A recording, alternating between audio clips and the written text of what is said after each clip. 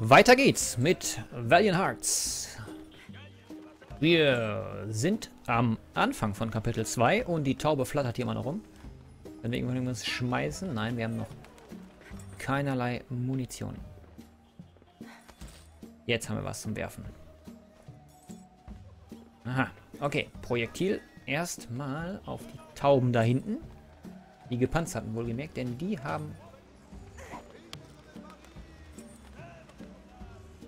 War das jetzt clever? Okay. Vielleicht kommen wir noch irgendwie unten auf, auf die Straße. So, jetzt pfeffern wir erstmal hier die Taube weg. Entschuldigung! Okay, das war sogar richtig. Der Schlüssel hätte ja theoretisch auch auf die Straße fallen können. Da ist was drin. Was ist das? Ein Schmuckkästchen. Tintenfass. Kugelschreiber wurden erst 1950 erfunden. Daher mussten die Soldaten ihre Briefe noch mit einer Feder schreiben. Die Tinte wurde hierfür in ein Tintenfass gefüllt, in das man die Feder regelmäßig eintauchen musste. Ach was. Das ist neu. Okay. Sonst irgendwas? Außer die Tür? Wer bist du? Ausrufezeichen, Ausrufezeichen. Oh, hier ist noch was. Ein Brief einer belgischen Zivilistin in Paris. Liebe Eltern, wir sind vor den Deutschen geflohen, um mit unseren Kindern Zuflucht in Frankreich zu finden. Leider rückten die Deutschen immer weiter vor und Paris befindet sich so gut wie im Belagerungszustand. Wenn Paris fällt, werden wir nach Lüttich zurückkehren. Deine liebe Tochter Mathilde. Bist du Mathilde? Du hast ein Glas an deiner Schürze.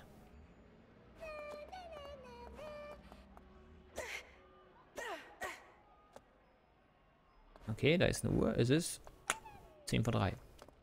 10 vor 3? Muss aber mitten in der Nacht sein. Der Himmel war... Oh, hier, hier ist sogar 4 Uhr.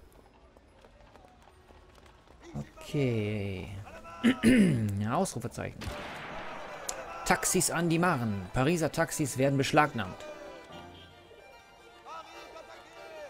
Extra Blatt, extra Blatt. Oh, da ist sogar die Uhr, die wir abgefeuert haben.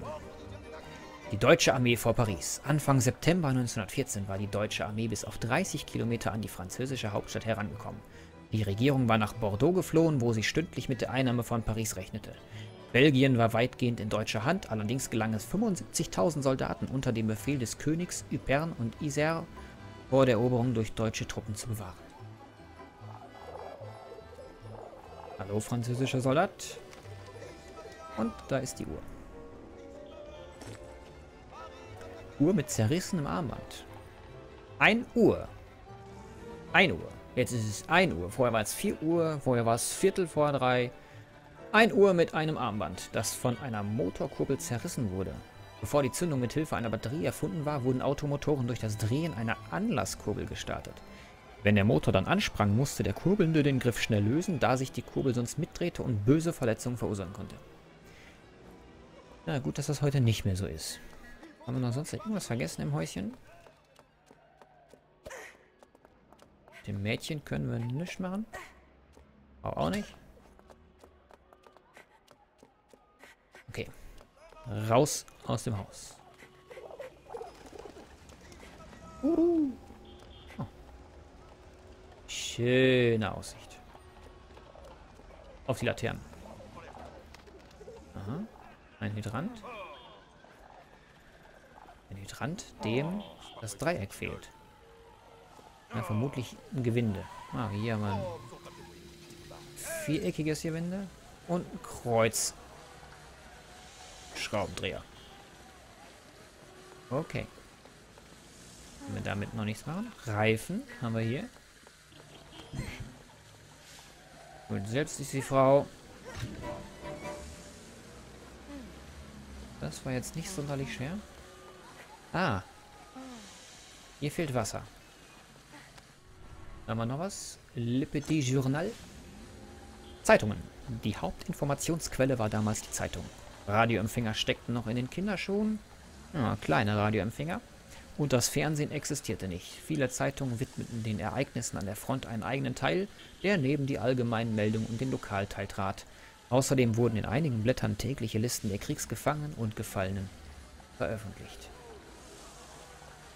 Okay, wir müssen den Motor mit Wasser befüllen und in irgendeiner Weise vermutlich dann den Wagenheber runterlassen. Hier kriegen wir Wasser her. Äh, wo kommt die denn jetzt her? Okay. Können wir nur einen mitnehmen? Ja, wir können nur einen mitnehmen. Okay. Quadrat. Hilft vermutlich hier. Yep.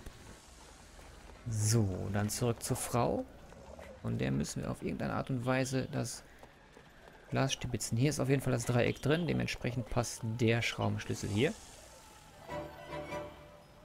Das Wasser läuft. Wir lassen es einfach mal laufen. War ja eh nicht knapp. Hm. Okay, das Mädchen braucht ärztlichen Beistand. Gut, dass wir eine Arzttasche dabei haben.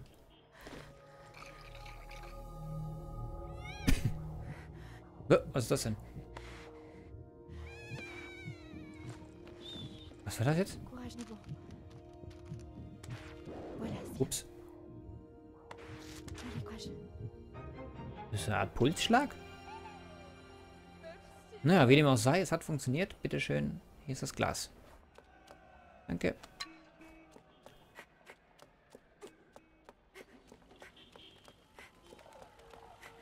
So, mit dem Glas rüber zum Hydranten. Wasser zapfen. Motor kühlen.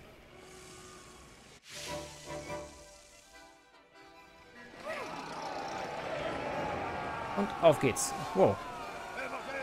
Das Auto ist voll.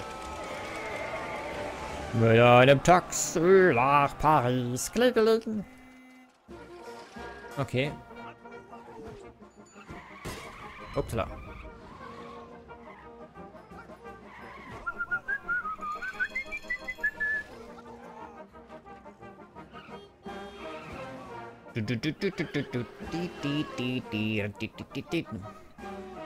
Also ein Ausweichspiel hatten wir schon mal.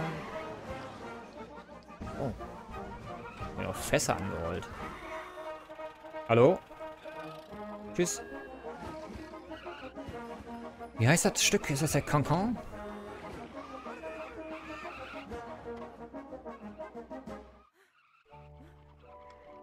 Können wir den von der Straße kicken? Okay, es gibt... Doch, es gibt Berührung. Ah. Jetzt müssen wir tanzen. Aber warum waren die so? Uah. Uah.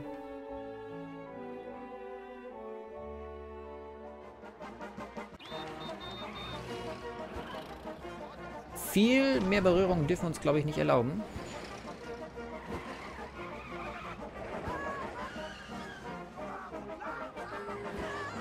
Mut zur Lücke.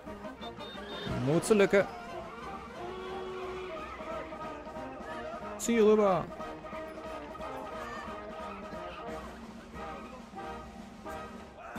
Und geschafft.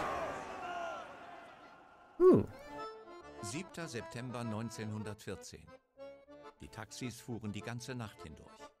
Anna war stolz, Soldaten an die Front bringen zu können. Als Anna schließlich ihr Ziel erreichte, erblickte sie die schreckliche Realität mit eigenen Augen. Tja. Hauptsache immer schön euphorisiert.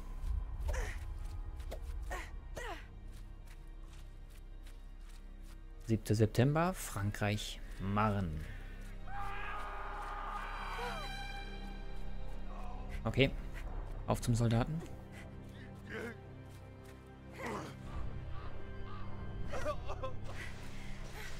Ziehen wir den erstmal von seinem Pferd weg.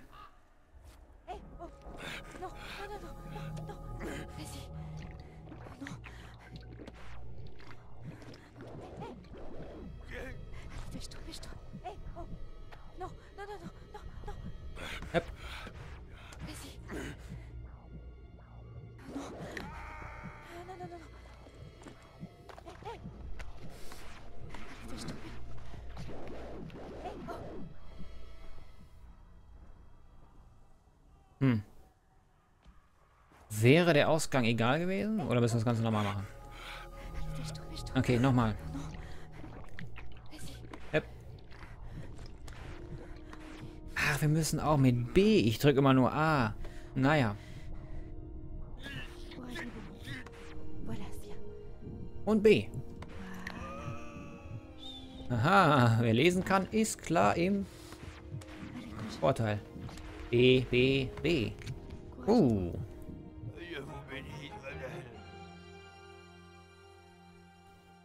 De rien, Monsieur.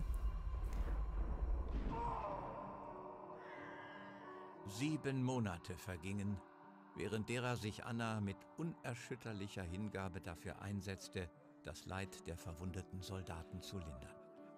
Jedes gerettete Leben bedeutete einen kleinen Sieg über den Krieg. Doch der Krieg wütete weiter.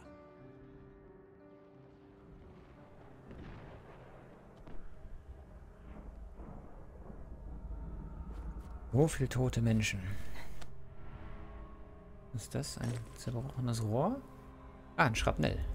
Schrapnell, eine Granate, die mit Bleikugeln gefüllt ist. Je nach Einstellung konnte die Granate bei Bodenkontakt oder noch in der Luft explodieren und ihre Kugeln verschießen, um noch mehr Schaden anzurichten. Teilweise verheerenden Schaden, ja. Oh, wir sind schon in Ypern. Belgien.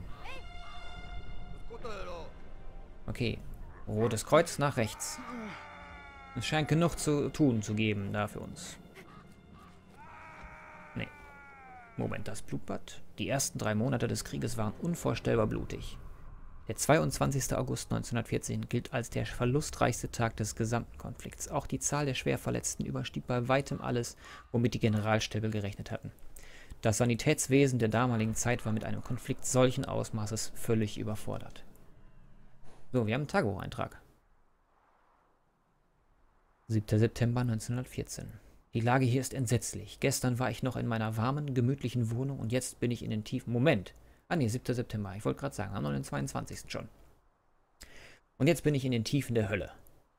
So viele sind tot, so viele junge Leben verloren. Heute Morgen konnte ich einen Soldaten retten, aber es gibt so viele, die gepflegt werden müssen. Morgen versuche ich näher an die Front zu kommen, damit ich den Bedürftigsten helfen kann. Okay. Rotes Kreuz, Wasser.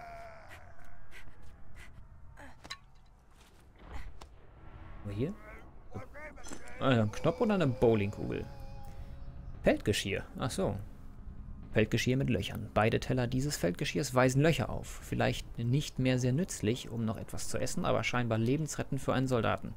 Das Feldgeschirr wurde auf Nierenhöhe getragen. Als die Granate explodierte, hat das Feldgeschirr das kochend heiße Schrapnell gebremst und dem Soldaten das Leben gerettet. Das Feldgeschirr wurde mit Rauch geschwärzt, damit es in der Sonne nicht glänzte. Not macht erfinderisch. Wow, okay, wir warten einfach mal durch einen Berg voll Leichen. Das ist ein weiterer Brief. Brief eines preußischen Soldaten. 6. September 1914.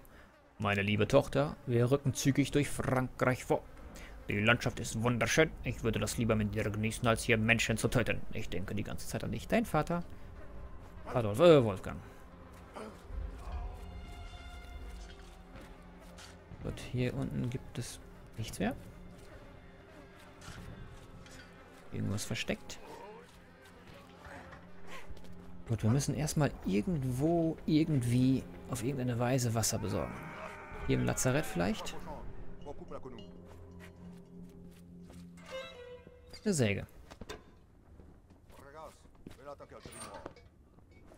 Okay, wir haben die Säge mit dabei.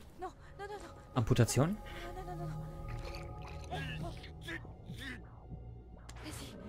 Ja, diesmal die richtigen Tasten. Boah. Gut, dass ich mich vollkommen auf den oberen Bildschirmrand konzentrieren muss.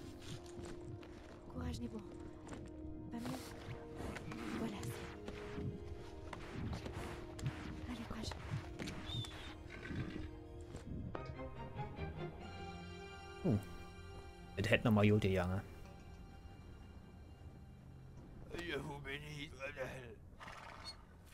So, Herz. Socken. Ah. Talgsocken. Socken, die in Talg getaucht und mit Formalin überzogen wurden, waren die effektivste Möglichkeit, die Kälte und Feuchtigkeit abzuwehren und so Frostbeulen und anderen Verletzungen vorzubeugen. Zumindest glaubten die Leute, dass es helfen würde. Egal wie effektiv diese Socken auch waren, der beste Freund des Soldaten war nun mal ein trockenes Paar Socken. Das kann ich mir vorstellen. Was fehlt hier? Einfach nur das Glas?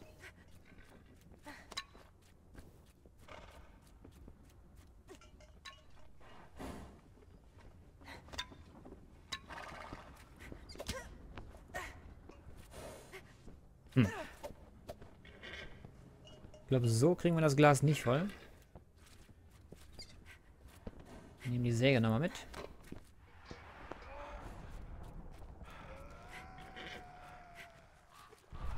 Wir hier nach hinten? Jo, können wir sogar.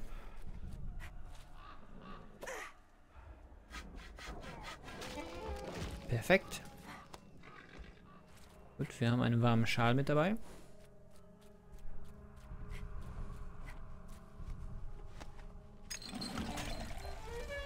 So, das Wasser ist gefüllt. Du brauchst eine Krücke. Brauchst du auch irgendwas? Nein. Du brauchst die Krücke. Okay, holen wir erstmal das Wasser. Schal liegt im Zelt. Nicht, dass das Wasser schal wird. Prost. Noch was für uns?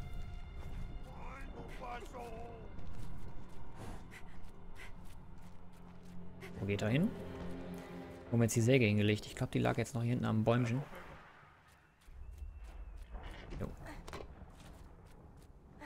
Da liegt auch noch was. L'infirmière Hospital. Hospitalière. Krankenschwesternhandbuch. Die Kriegsbemühungen forderten plötzlich ein größeres medizinisches Korps und es gab nicht genügend qualifiziertes Personal. Daher wurden Handbücher verfasst und verteilt, um Freiwillige auszubilden. Die Handbücher boten viele praktische Lösungen für logistische und medizinische Probleme an der Front, etwa zum Herstellen einer Krankentrage- oder Beinschiene mit Hilfe von Gewehren und ihren Gurten. Eine super Sache.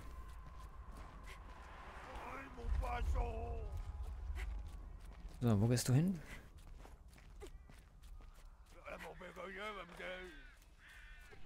Wir besorgen dir schon deine Krücke.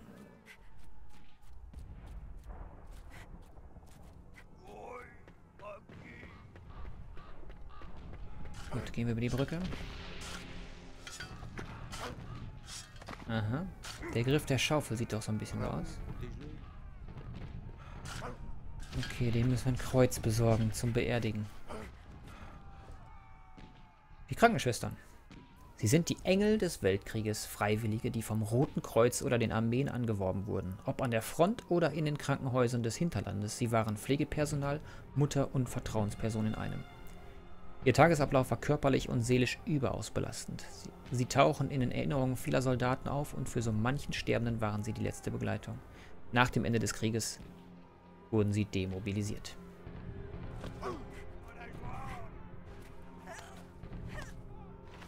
Okay. Ah, den müssen wir den Arm verbinden. Dafür benutzen wir mit Sicherheit den Schal. So, hier ist ein Kreuz.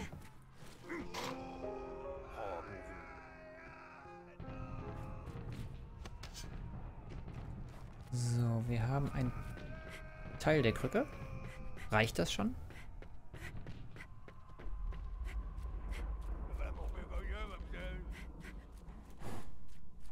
Hier, kannst du hier mitlaufen? Ja, kann er sogar. Gut, jetzt noch den Schal holen.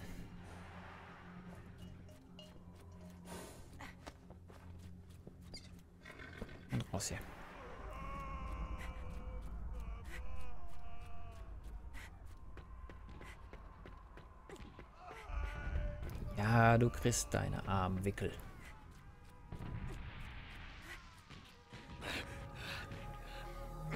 Okay.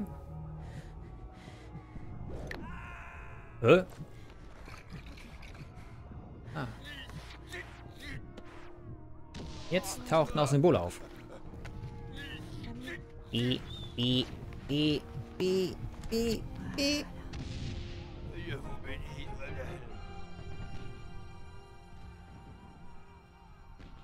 Gut, ich glaube, wir haben alle.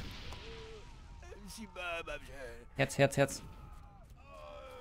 Ist hier noch was? Nein. Nur noch ein Sammelobjekt. Ein Kamm.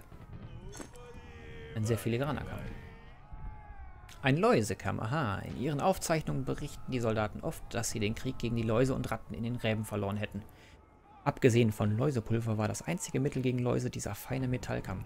Wenn Soldaten hinter die eigenen Linien zurückbeordert wurden, schrubbten sie sich mit heißem Wasser ab und kochten ihre Kleidung oder bekamen direkt eine neue Uniform. Uah, Läuse. So, hier ruft uns noch einer. Hoffentlich nicht allzu schwer verwundet. Oh nein. Im Graben.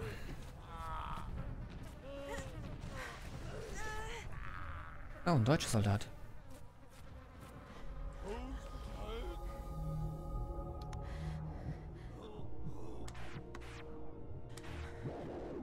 Ups. Morphiumspritze?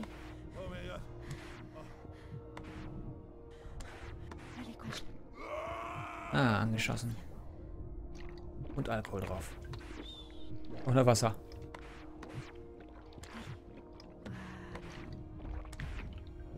Mieux Danke.